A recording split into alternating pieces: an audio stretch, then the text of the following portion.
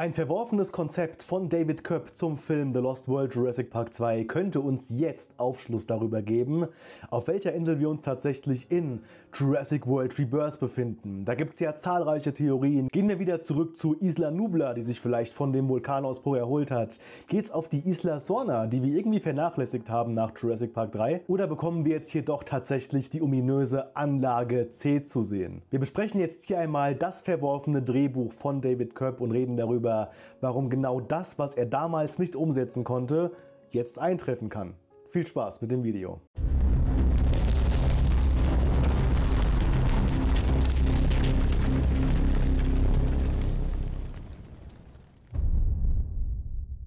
Ja, die Dreharbeiten zu Jurassic Park sind, glaube ich, schon seit dem allerersten Film einfach irgendwie von Chaos gezeichnet. Ich meine, die Filme waren super, zumindest Jurassic Park 1 und Jurassic Park 2. Da sind wir uns, glaube ich, alle einig, die Filme haben wirklich damals eingeschlagen und das war auch etwas komplett Neues. Jurassic Park 3 ist dann dem gesamten Drehchaos ja komplett unterlegen. Es gab Probleme mit dem Cast, mit dem Drehbuch und allem möglichen. Wir dürfen aber auch nicht vergessen, dass Jurassic Park 1 ebenfalls von einem wirklichen Chaos gezeichnet war.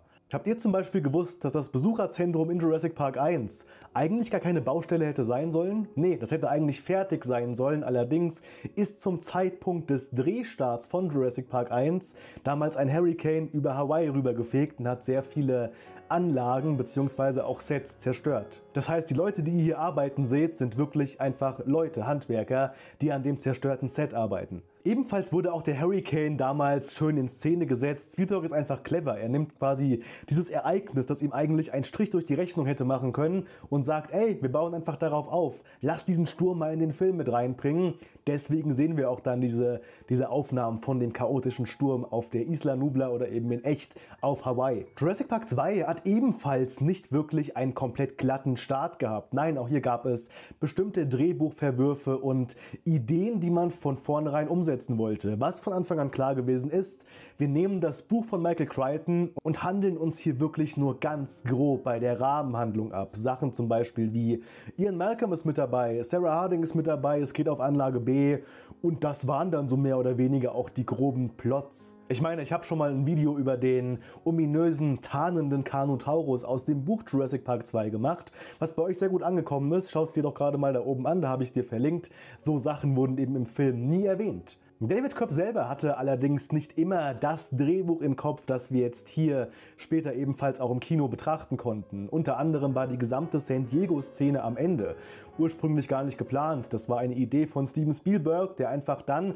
David Kopp ins Wort gesprochen hat und meinte, kann man das nur irgendwie hinten dranhängen? Der Grund dafür ist eben wirklich, weil Steven Spielberg ein bekennender King Kong und aber auch Godzilla-Fan ist. Deswegen hat er die Idee bekommen, während dem Dreh von The Lost World Jurassic Park 2, lass doch mal so eine T-Rex in der der Stadtszene drehen. Auch hier haben wir ja noch ein kleines Easter Egg, wo wir sehen, wo dann die Japaner vom T-Rex wegrennen und irgendwas auf Japanisch murmeln und wenn wir das übersetzen, sagt der eine zu dem anderen, verdammt nochmal, genau wegen sowas bin ich doch eigentlich erst aus Tokio abgehauen. Was so ein Augenzwinkern ist, dass, dass, dass damit Godzilla gemeint ist. Vielleicht sollte man auch mal darüber reden, ob Godzilla Kanon ist im Jurassic-Universum. Aber auch lange bevor Steven Spielberg diese Szene an das Drehbuch dran klatschen wollte, gab es eine Variante von David Köpp, die ein gesamtes, einen komplett anderen Anfang hätte uns bieten sollen. Nämlich einen Anfang, der mehr in die mysteriöse Schiene gegangen ist. Was wir im Originalfilm, den wir alle bekommen haben, gesehen haben, ist ja wie die kleine Katie, hieß sie, glaube ich, ein nicht ganz so schönes erstes Treffen mit den Compsognathus macht. Das Ganze geht noch gerade so gut aus, aber sie ist auf jeden Fall mit ein paar Blessuren davongekommen. Durch diesen Vorfall beginnt dann quasi die gesamte Geschichte. John Hammond erwähnt ja auch, dass das jetzt hier das i-Tüpfelchen gewesen ist, warum jetzt die Investoren sind ja schon längst alle abgesprungen und jetzt wird eben darüber geredet, dass John Hammond Inge nicht mehr führen darf. Deswegen soll ja dann eben auch sein Neffe Peter Ludlow die ganze Nummer übernehmen. Im ursprünglichen Skript hätte die ganze Geschichte ein bisschen anders ablaufen sollen. Wir hätten nämlich eigentlich einen ganz anderen Vorfall bekommen. Und zwar hätten wir hier ein japanisches Fischerschiff sehen sollen, das irgendwo am Rande einer verschollenen Insel nach Fischen fischt, was ein Fischer eben auch so macht. Hierbei wäre ihm ein gewaltiger Fang ins Netz geraten und er hätte sich tierisch darüber gefreut, bis er dann merkte, oh, das ist gar kein Fisch, das ist ein, ein toter, leicht angefressener, verwesender Parasaurolophus. Ja, tatsächlich hätten wir diese Szene hier ursprünglich bekommen sollen, wo wir gesehen hätten, wie ein Fischer einen toten, zerrotteten Parasaurolophus in sein Fischerboot zieht. Für diese Szene gab es übrigens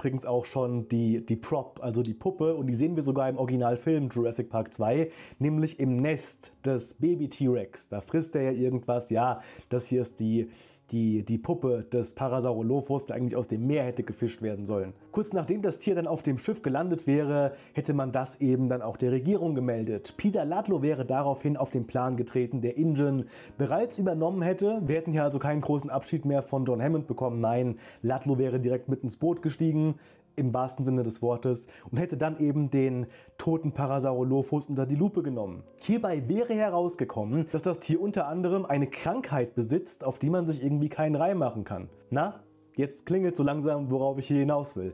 Die ganze Geschichte geht aber noch weiter. Ebenfalls hätte Ludlow sich darüber gewundert, dass dieser Leichnam so weit weg von der eigentlichen Insel Isla Nubla gefunden wäre. Daraufhin hätte er Satelliten in Auftrag gegeben, die den gesamten Ozeanbereich einmal abchecken würden. Und dann hätte er folgendes gefunden.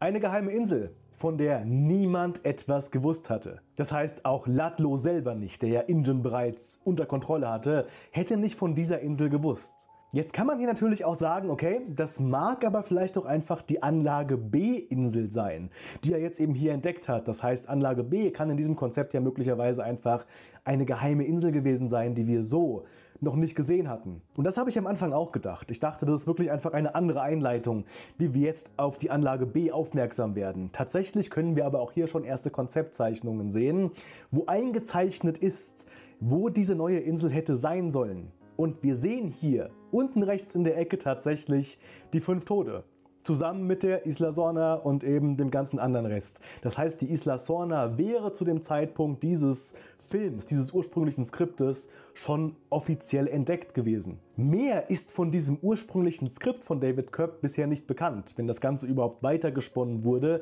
Aber ich gehe davon mal aus, denn es gab ja wie gesagt sogar schon einen Prop für diese eine Szene mit dem japanischen Fischerschiff, das dann die, den, den Parasaurolophus eben an Land geholt hat. Die Frage hierbei ist jetzt, hätten wir tatsächlich eine Anlage C erhalten?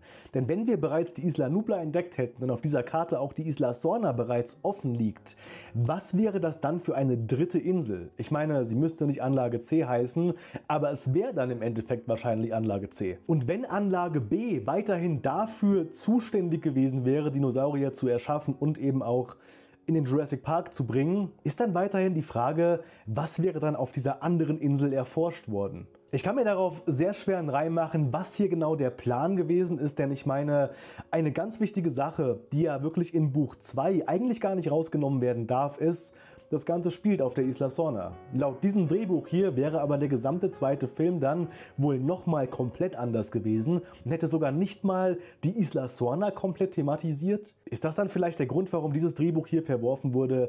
Ich weiß es nicht. Auf jeden Fall haben wir hier Auffällige Parallelen zu allem, was wir bisher über Jurassic World Rebirth wissen. Komische auftauchende Dino-Leichen, die plötzlich Krankheiten in sich tragen und eine Insel, von der irgendwie keiner was zu wissen scheint. Was denkst du darüber? Meinst du, David Kerp nimmt diese verworfene Idee und baut sie zum Teil in Jurassic World Rebirth mit um? Oder sagst du, nee, ich glaube, das war einfach nur mal so ein Gehirnfurz von ihm gewesen, da wird nichts mehr draus. Ich bin sehr auf deine Antwort gespannt. In diesem Sinne, ihr Lieben, bin ich für heute raus mit dem Video. Ich wünsche euch was. Bis zum nächsten Mal. Macht's gut. Ciao, ciao.